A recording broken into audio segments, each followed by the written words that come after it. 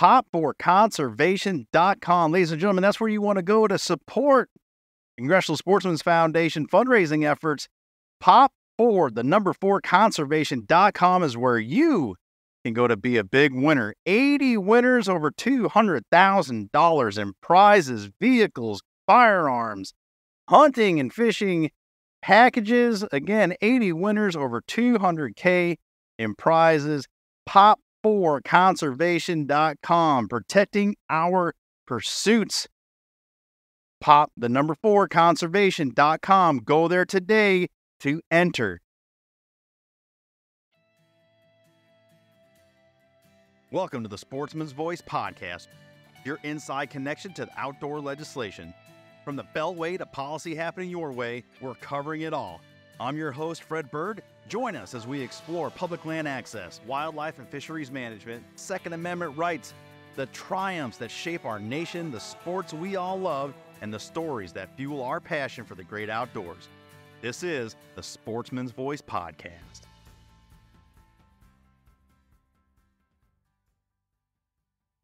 Okay, ladies and gentlemen, our coverage continues of uh, CSF uh, priority legislation coverage. Uh, we're joined now by Congressman, uh, Congresswoman, excuse me, Debbie Dingell out of the, uh, great state of Michigan. Uh, thank you so much for having us into your office and, and willing to talk about uh, House Resolution 8836 Wildlife Movement through Partnerships Act, or better known as uh, Corridors Act. How are you doing? I'm doing okay. It's great to see you all here, and I love talking about anything related to the congressional sportsman. Uh, we're happy for your support and your leadership, and uh, certainly this this uh, opportunity to, to work with everybody uh, across the aisle and the nonpartisan or bipartisan nature of this bill allows uh, for everyone to celebrate a, win if we can get it done. Uh, working towards uh, habitat improvement, contiguous acres to allow for those migrating species, uh, large ungulates that we all enjoy, elk and sheep, mule deer, and the like and then taking that uh, from the west to the east to parts of Michigan as well with migrating species. Uh, give us your thoughts on that, and and you know how do you see this all going moving forward? Well, you know, first of all, when we talk about migration, it's fall, and that's the time of the year that we see so many different species migrate.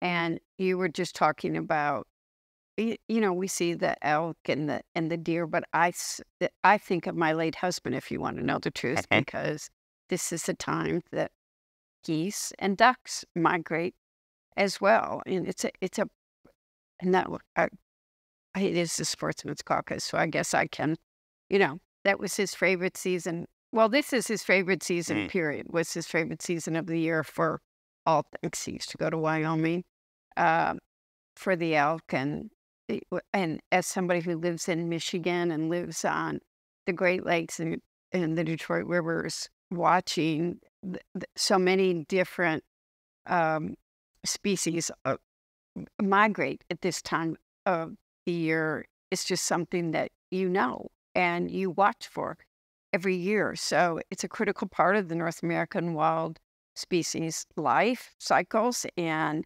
we know People don't know why it happens though. And as winter is coming, these species are looking for food. Uh-huh. They're um, looking to breed, and that's part of it. And we need to do things that will aid. We're also beginning to see more and more endangered species. And there are many things that are impeding these migrations, are causing problems, and it's causing us to lose species. So we should all be working together to preserve our native species, be it everything from probably the Congressional Sportsmen's Caucus doesn't always think about monarch butterflies, but mm-hmm. monarch butterflies are perhaps one of the most endangered species we've seen. They're not on the official endangered species list, but they're challenged for they're sure. They're challenged, and it's a good time of the year to talk about many other species. You talk about waterfowl migrating north to south. I don't think many people consider the monarch butterfly's great flight down to uh, Central America as part of that, that great migration.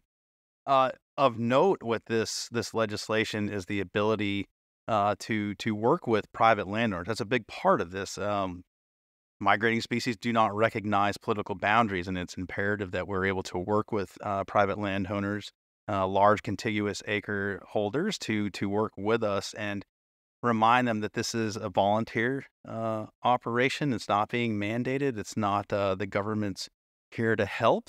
Uh, people get nervous. This is a uh, one for all, and I guess uh, as a colleague said, you know, if you build it, they will they will come, and the animals, the species will utilize it, as we've seen with some of the overpass projects, and now um, working through this.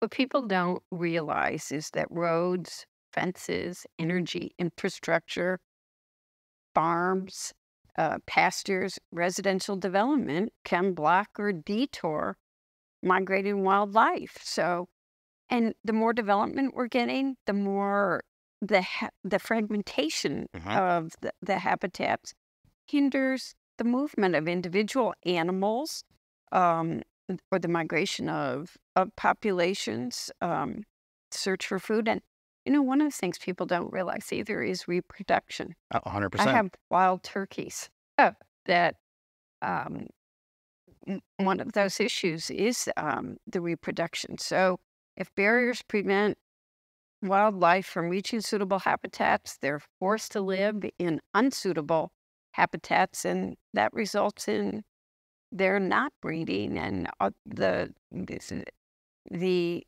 populations reducing in size and some becoming extinct. I think, you know, it's it's easy uh, to go to Michigan, uh, go east of the Mississippi, and s- literally see fragmentation on the landscape. You can see it. You can see ag cutting off uh, contiguous acres of old, uh, young growth forest, uh, developments, like you said, um, new energy going in and breaking that up. What, what's not obvious to the eye is when we go out west, you see these vast acres that, that appear to be open, but because of uh, federal land versus private land, that in and of itself, these invisible political boundaries fragment that landscape, and it's so vital um, to, to have and, and nurture these these partnerships and cooperative uh, efforts. We have to do that. And I think something else that people don't see is that when it gets developed, and some of that may have been for farming purposes or cattle breeding or many different reasons, the monarch butterfly is a good example. They're not able to find the food that they used to. So, what we have to do is to, you know, I've talked to gardening clubs, uh, the Garden Club of America, and I've talked in several different states to gardening clubs about just being aware in their private gardens or in public lands along the roadscapes, etc., of planting milkweed and other plants that are a source of food for these migrating uh, populations. And that's important too, is educating everybody. And that's why these grants are important, is making people aware of things. I think the public at large, uh, you know, we always refer to it as the eighty percent uh, when we're talking about the sporting community, which makes up ten percent or less. Um, you know, they just kind of go about their life. They see the migrating birds, they see a, a, a turkey flock in their yard, perhaps, um, and that's about it. There's there's no uh, no other further understanding other than they are there, they exist, and if they disappeared, I don't know if people would notice right away. I don't think people understand how many birds have disappeared Mhm. uh, in the last couple of decades. Uh, we've talked maybe a little more about the monarch butterfly than we have birds, but the number of birds that are going into extinction and that uh, we don't see, people take all of this for granted. Or even, you know, it's interesting to have the discussions because I love, I'd never seen a wild turkey until recent years. And Mm. now we are seeing wild turkeys in neighborhoods like mine because they have no place to go. They have no food to eat.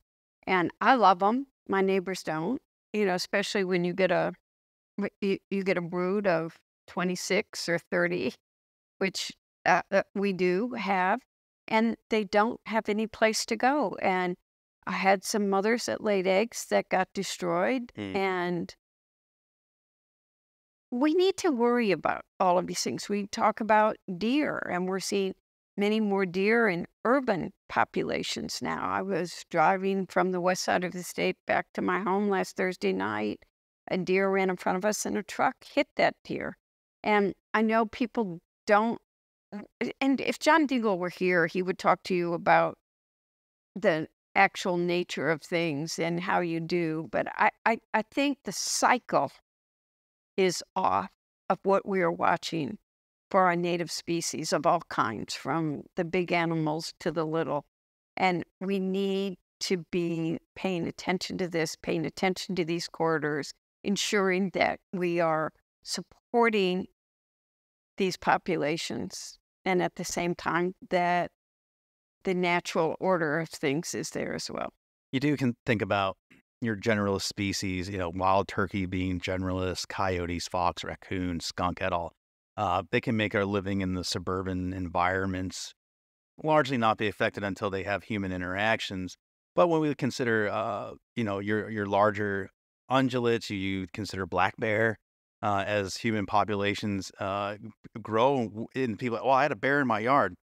Uh, how about you look at it? We were in the Bears yard, right? So the, the Bears have always been there, and, and we just had this But urban we've sprawl. expanded. Yeah, And we've, I mean, look at the gray wolf in Michigan, which, you know, we're starting to bring back, but that almost virtually uh, disappeared. And you don't want to lose all of these sure. animals. You want to make sure.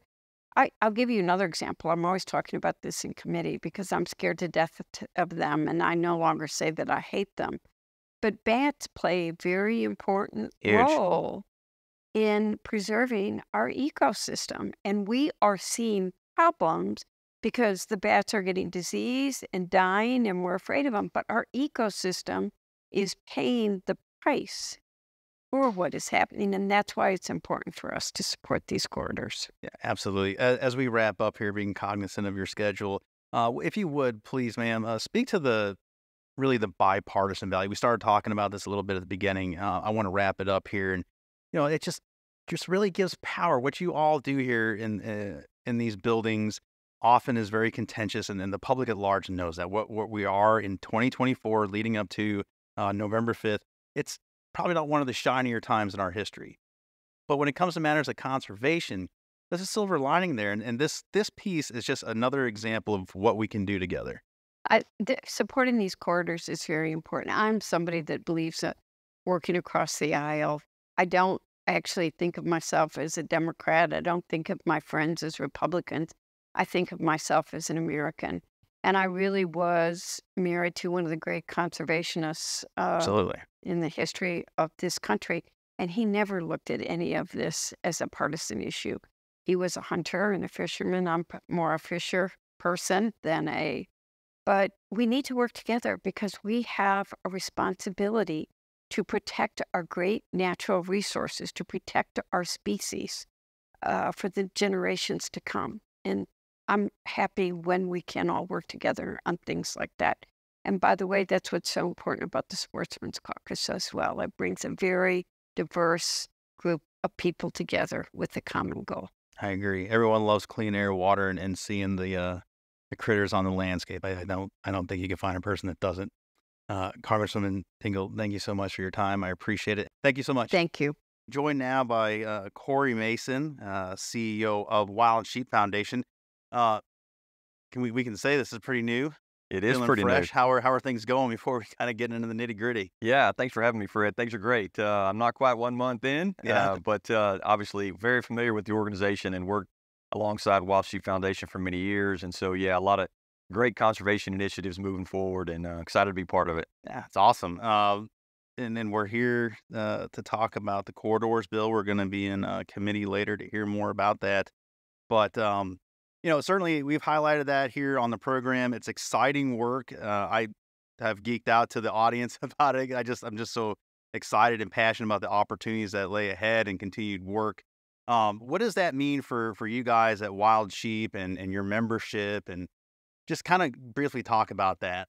Absolutely. You know, to, to, to meet the needs of these large big game species that are migratory in nature, you know, recognizing they have both summer range needs and they have winter range needs, and recognizing as well that some of those needs are met on interior lands and some of those needs are met on Forest Service lands. And so the ability for this type of bill to continue to move forward from a funding standpoint and collaboration across interior and Forest Service.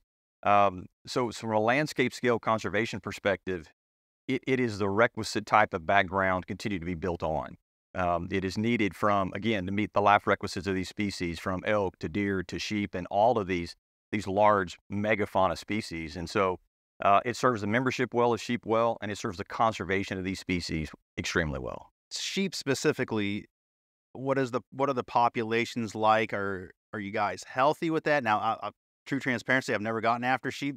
Very interested in doing it, but my knowledge is limited. So for me too, uh, update the audience on you know the species and, and where they're at and, and how this is probably going to help populations. Yeah, so depending on where you are, from of course desert bighorn sheep in the extreme southwest, if you will, all the way, of course, to to Alaska and, and Dall and Stone in British Columbia. Know, obviously we're talking a number of different species here, and this most largely impacting bighorn sheep proper, uh, generally speaking.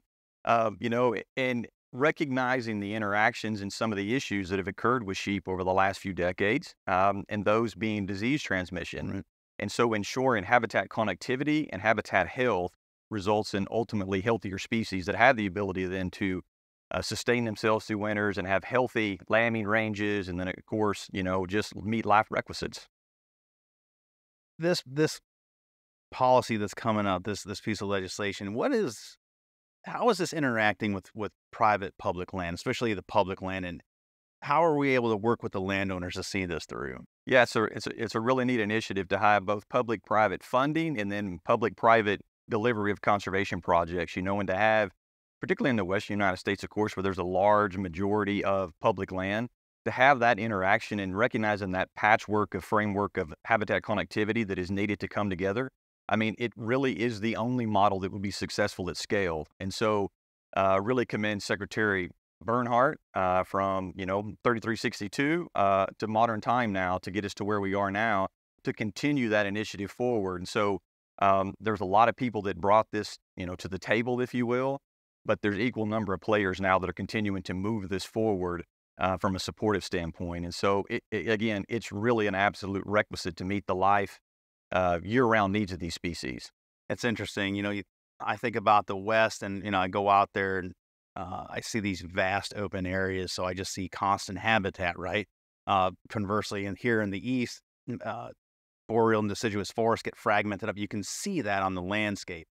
But you guys are fragmented up in the west by by nature of these these public and private lands and how that's all gridded out. And you know, in some cases, some guy like me goes out there, if not for something like onX or um, one of the other mapping situations, I, I could be in a lot of trouble. But that aside, it's really it is fragmented from the work you're able to do. So it takes a lot of cooperation between agencies and federal agencies to get some of this done, which is why this is so remarkable and has the support that it does. It does. The model of this particular incentive has been, our initiative, I should say, has really been the model in which things should work forward in the future because it's been a collaboration of multiple federal agencies as well as the private landowner as well. So compliments are due on many fronts. So as we look at the the public that's involved here and their opinions, has there been pushback? Is there any negative thoughts from from the general public on this, or is this being celebrated by everybody as, hey, this is a pretty good idea? Yeah, it's been largely supportive, recognizing the species, which really the kind of the poster children, if you will, to move this forward, and then recognizing again, it's such a scale,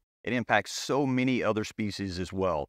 You know, from small mammals to connectivity of, of many, many landscapes. And so yeah, it's a it's a tremendous effort. And when you're you're able to convey that message, right, to to that that often lauded 80% in the mill that are either indifferent to what we're trying to do or just happy to see critters on the landscape, that that non-game species quotient that we're able to tell that part of the story. Like, look, we're not just doing this so we can go out there and hunt these species. Like, there is tremendous value all around it, and the work we're doing uh, affects you know everything from a, a butterfly to you know a warbler you're trying to reintroduce, and this is value for everybody.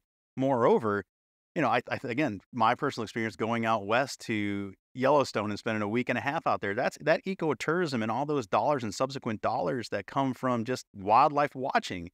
That's a big deal for the economies of those states out there, and this just contributes to that. It's exactly right. You know, recognizing that any kind of landscape scale conservation effort impacts maybe not every single species positively, but the majority of the species are certainly impacted when you're trying to conserve landscapes. You know, uh, I sort of make an analogy oftentimes when I was a biologist for state fish and wildlife agencies, oftentimes my phone would ring and someone would invite me out and want to have a management plan written for wild turkey management or waterfowl management or whitetail deer. And certainly when I got past that lock gate and we were walking through their property and we were viewing it we were looking at it, you know, we spent some amount of time on that clearly, but we spent a whole lot more time talking about riparian management and we spent a lot of time talking about pollinator management and eh, to your point, snag trees for cavity nesters and all different kinds of the whole system approach. And so, so yes, this corridor and this migration initiative has been very successful and hopefully will continue to be very successful for these big game species, again, are really that are kind of the faces behind it, if you will, but it positively impacts virtually every species on the landscape mm-hmm. just by connecting habitats. Do you know when when a new uh, corridor is put in? What is the average time it takes these species to recognize? Hey, here's a cool way for me to get across this road or get to something um, and just have it become a natural means of, of traversing the landscape. Yeah, it's almost immediate. Oh, great. Absolutely. Yeah. Within a season, those species adapt to the opportunities for connectivity very quickly.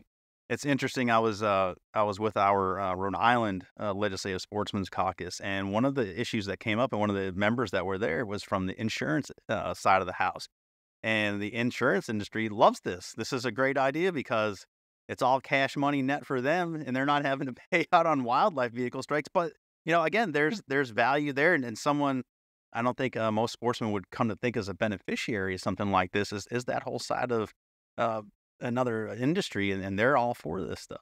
Yeah, absolutely. I mean, there, there's really not a loss to the whole concept. Again, the initiative puts landscapes together and in public-private ventures. I mean, it, it's truly a win across the board, and we just cannot give enough compliments to all those that are behind this initiative and all their support to continue to, to keep it moving. Yeah, right. And then in the challenge time, uh, specifically down here, and uh, where not a lot of things are getting moved. Um, and then obviously we got a big election coming up here. It's it's positive to see uh, at least good discussions and, and, forward momentum on something like this. Uh, before we wrap up, and I, am cognizant of your time and I appreciate it. Now, is there anything you'd like to speak to the CSF audience, the Sportsman's Voice audience, about um, your transition, about wild sheep, or just any other context you want to add to what we're going to hear about today? Yeah, I appreciate that. Well, I would certainly be remiss if I didn't compliment the great work of CSF, the entire team, uh, Fred, everyone at, at the office. And uh, I mean, just work so collaboratively across the country at the state level and certainly at the national level here. Uh, the presence in Washington, D.C. is second to none. And many of these issues uh, simply wouldn't happen uh, without CSF and particularly the bipartisan approach that CSF works is greatly, greatly appreciated uh, across the sportsman's community. So thank you for those efforts. Really appreciate that, and just the privilege of being able to support in a small way. Um, as far as from Wild Sheep Foundation, would love to you know engage anyone that has any more questions. Um, obviously, it's an in, in, uh, extremely impactful organization. You know, um, with a, with a focus, of course, on conserving wild sheep and their habitats, uh, with the slogan of putting and keeping sheep on the mountain, and really follows that up with the dollars to do that. You know, last year you look at a, a conservation financial impact of around $11 million by one organization alone, very focused on pressing conservation needs, being habitat, uh, disease interaction, needed research, uh, working extremely collaboratively across the U.S. with state partners, uh, you know, tribes and First Nations, provincial governments, clearly working closely with the Fish and Wildlife Service, and then initiatives in Central Asia as well uh, with some of those species. And so uh, yeah, an impactful organization, but proud to be a partner of CSF. If you would, just because I find it interesting, just can you touch on that, the international side of this and, and the conservation efforts? Is it met the same way? Do they see the value of uh, the North American model and how we do things right and are the envy of the entire planet? Do they do they see that over there? Many of the models uh, outside of the U.S. are a little different. Yeah. Uh, so community based, for example, in Central Asian countries where it's communities that directly benefit from the management of those species, uh, financially benefit from an employment standpoint, and then, of course, from a financial livelihood standpoint. So, and some of those wildlife species are potentially sort of government owned, if you will, uh, or community owned. And I kind of say that in air quotes a bit. Uh, but nonetheless, it's a very direct, on the ground benefit to those local people groups. Uh, and so, thus, there is a significant buy in to the conservation of those species and then understanding the significant financial impact of managing those species well and then having the ability to have some level of sustainable offtake. And so it's a little different model, but it's extremely sustainable and very financially viable model. Um, and then, of course, those arenas then expand out into things like CITES, Convention of Migratory Species, Convention of Biological Diversity, and of course, Wild Sheep Foundation and others has significant presence in those international theaters as well to make sure that sustainable use and scientific based wildlife management is really the principal and tenet guiding those discussions. Yeah, and I think that's such an important message, uh, not just here, but definitely abroad. And the more the more governments are able to see the value in that, uh, it, it makes it hard for some of the anti crowds to sit there and picket and be upset about something where not too long ago, a lot of these species or charismatic ungulates uh, were almost extirpated. And the same thing in Africa. Same, you know, there's that value system. And again, if you don't have it, no one really cares about it. That's exactly right. Yep. Yeah, that's pretty cool. Corey Mason, thank you so much for your time. I appreciate you being here. Thanks for having me. Appreciate it. Our coverage of uh, our legislative initiatives down here on the Hill continues. Uh, where you're joined by Ryan Bronson, uh, Director of Legislative Affairs for Rocky Mountain Elk Foundation. Uh, thanks so much for carving out the time. We're uh, going to wrap up our conversation on corridors um, and wanted to get the perspective uh, from, I guess there's really no one better, right? Right in the thick of things um, from you guys at, at, Rocky Mountain Elk. And, you know, uh, we, we've had the overpass projects that, you know, these large ungulates have taken to and responded very well to. And now, as we look at corridors and working with landowners, private and, and federal and state, it, what a, this is good legislation. This should be a no-brainer. Inevitably, this town finds a way to maybe pick something apart. Uh, this one, not so much. But you know, talk to us from the the RMEF point of view why this needs to get done.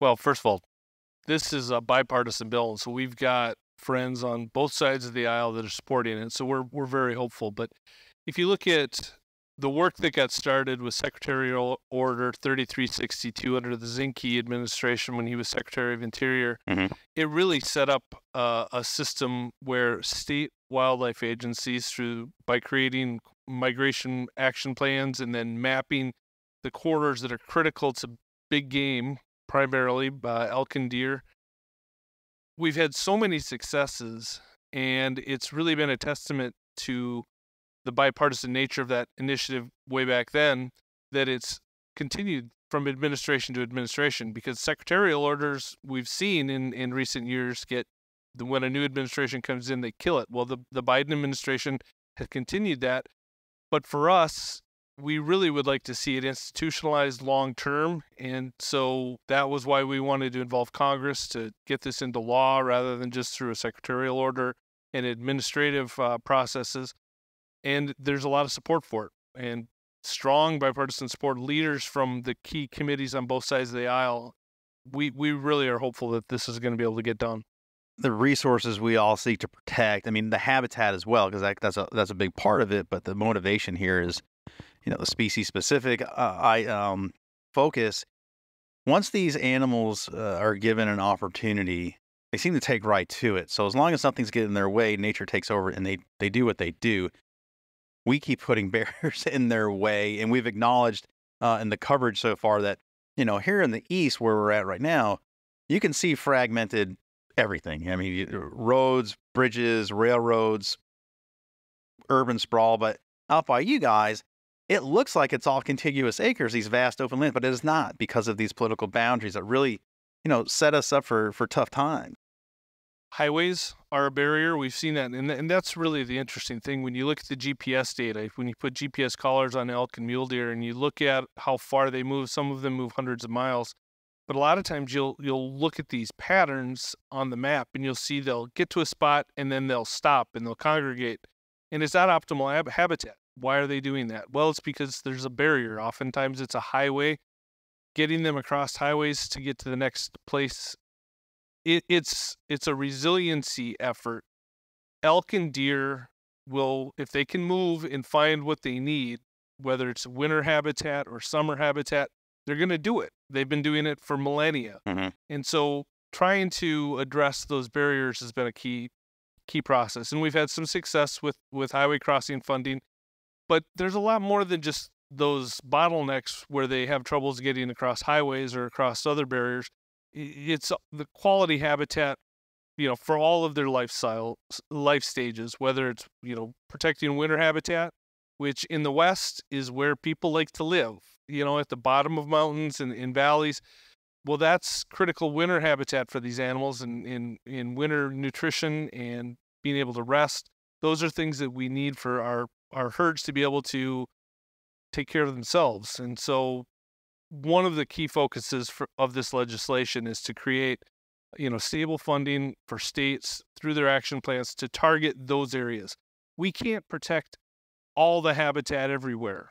So this is the, through this program we can prioritize the best of the best and those corridors are really the best of the best. And and so we know where we can invest our money privately that we raise through the Rocky Mountain Elk Foundation, and that's millions of dollars. Chapter banquets contributing to this. State wildlife agencies, their license fees, they can invest in this. And by leveraging uh, this federal funding, if we can secure it long term, that is going to be passed on to those state agencies to keep keep the work going and and remember, it's state wildlife agencies that manage these wildlife populations. It's not the federal government's responsibility. It's state wildlife agencies, and that's really what this legislation does: is creates financial opportunities for those states to do the work. And rightfully so. I mean, they're the boots on the ground. They're literally it's in their backyard. Those are the people we want to engage and make sure the resources are available to them to execute this work. Specifically, as it relates to elk, um, admittedly, I'm an East Coast guy, so I don't get a whole lot of interaction. We're we're trying to get more elk to the East Coast. Yeah, I've I've heard rumors of that. It'd be interesting to see that happen. The winter ranges versus, uh, I guess, off other seasons. Food dependent snowpack. If you guys aren't getting uh, a lot of inclement weather, will they stay high, or do they will they just by nature and their programming always go to lower elevations? Well, sure. Migrations take energy, and so animals don't tend to expend energy that they don't need to. So if if it, it, snow often is what drives animals off the top of the mountain, out of the national forest, down to the bases of the mountains. Um, so yeah, that that that's part of it. But given the elevation, usually elevation means winter weather, and so the having those migrations are important. And, and when you look at places like Wyoming and the Red Desert, um, you know, it's called the Red Desert for a reason. And so you, they need to move from place to place to find the resources. And sometimes that's water resources that are uh, seasonally available. Those are all factors in the overall biological integrity of the species. So, um, but yeah, as any good elk hunter knows, you know, if you don't get weather pushing the elk from elevation, sometimes they're hard to get to when they're up on top of the mountain and in the winters that's when they tend to come down and avoid the deep snow so that they don't have to expend so much energy to be able to move around and also have access to forage so that they can uh, survive the winter.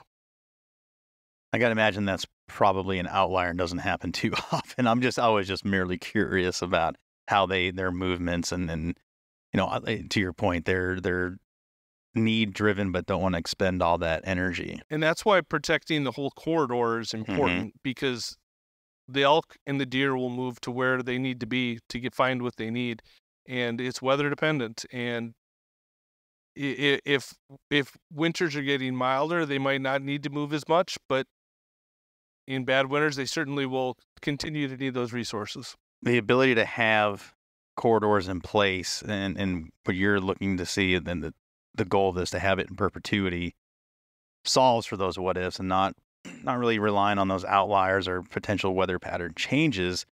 This has to be there for just just to solve for everything, and it's I think it's just good policy, and it sounds like um, most agree on this, and it should be a low piece of hanging fruit that everyone on either side can celebrate. We hope so. And, you know, at the Elk Foundation, we really pride ourselves on being a bipartisan organization. And some of the partners that are in our coalition working on this consider themselves left of center. Some of the people in the coalition consider themselves right of center. But we've got this broad array of organizations working together. And obviously, the Congressional Sportsmen's Foundation, being the largest bipartisan caucus, playing a critical role bringing those two sides together. Uh, we've got chairmen on board, we've got ranking members on board. Early indications are that we hopefully we'll be able to get this to pass. Uh, you know, we, we, we do need to find the money for it. So those are all those are all issues, but uh, we think we can work through. Oh, so worthy investment, and uh, yeah, to your point, this is um, this is something everyone can get behind, and um, this this work is nonpartisan, and that's you know, obviously with our organization working with you guys in partnership, it just it just makes sense to put any sort of labels on is it's quite confusing, honestly. I don't know how this one could be one way or the other. This is good for everybody. Um, end users are not. You know, this this is good good work for anyone that doesn't uh, get a hunting license or any of it. They just like to see the elk in their backyard or you know the other critters. So, well, we obviously look forward to a, a positive outcome on this and and to celebrate with our partners to include you guys at Rocky Mountain Elk. And yeah, I, I think that I'll leave you with the parting words. There, we've covered this pretty well, and lack of controversy sometimes leaves lack of words. Yeah. but yeah, we it, it's it's all good here, and I uh, just want to see it get on. Well, thanks, thank you very much. You know, the Elk Foundation mission is to ensure the future of elk, other wildlife, and our hunting habitat, uh, and our hunting heritage. Those are all important parts of our mission that we partner with the Congressional Sportsmen's Foundation all the time on, and, and we really appreciate that partnership. And uh, uh, honestly, your Taylor from CSF did a great job testifying on this bill. He did. Uh, he represented our community well, um, and and know that you know he was speaking. We were speaking with one voice on that That's issue, exactly and we right. look forward to it. Thank you, sir. Appreciate your time. Thank you so much to our guest for this special part two on uh, wildlife corridors legislation. Corey Mason, Congressman Dingell, and Mr. Bronson uh, for their thoughts. Again, another another piece of uh, positive legislation here that's got a ton of upside. Uh, makes a whole lot of sense. Uh, you think you get the enthusiasm from me as we've covered this multiple times. It's a pretty exciting uh, opportunity for for for everyone, for the critters, um, for people that live in these places, uh, ecotourism, all of it. It's just there's just so much upside here, and um, a good solve for some problems. An increasing landscape that is fragmented. Um, yeah, good good problem solving ability here. So uh, let's get this one over the finish line for sure. Folks, that's it. Thanks so much for tuning in uh, for this special part one, part two of the program. Next week, our roundup, as always. And during the off week, I invite you to go back. We have a great library now built up of some excellent uh, storytelling episodes, policy coverage, uh, especially here in the last month and a half. So uh, do go back, check out that that library of, of shows and a lot of great stuff there, and uh, you'll be entertained and you got some time to listen to it. On our next feature episode, catch up with a longtime friend Gregg Ritz.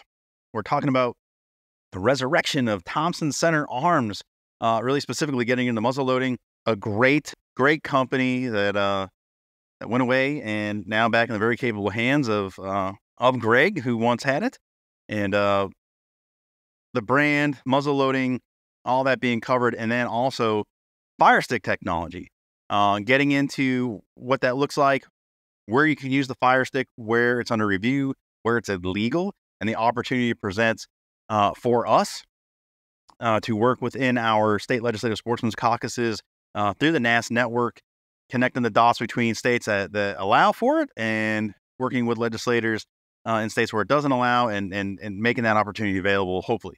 So, uh, all that and more in a couple weeks. Like I said, we'll catch up with Gregg Ritz. And um, until then, uh, our our thoughts, our hearts are certainly with uh, our friends, our family members, our partners uh, throughout Appalachia. Um, as I'm recording this, uh, and a couple days in advance of this drop, um, Milton, Category Five hurricane bearing down on the west coast of Florida. So um, we'll see you guys on the other side. Stay safe, hunker down. Hopefully you got out, and uh, just just be safe, guys. Golly days, um, it's been a it's been a rough go for a lot of you. For those of you that are uh, still hitting the fields or in field, uh, be safe. Get home to your families, and uh, hope you're having uh, lots of good, positive experiences out there in the wilds of this great country. All right, guys, we'll see you next week. Thanks so much for tuning in. Bye bye. Thanks for joining us on this edition of the Sportsmen's Voice podcast. Ladies and gentlemen, your support is crucial, and you can help us out right now by leaving a review, filling in those five stars where available, sharing this episode with friends and family, and engaging with us socially. CSF can be found on Facebook, Instagram, and X, formerly known as Twitter. Together, we can protect the outdoor sports we love and continue to keep you informed wherever you are. That's it for this week. Until next time, see you later.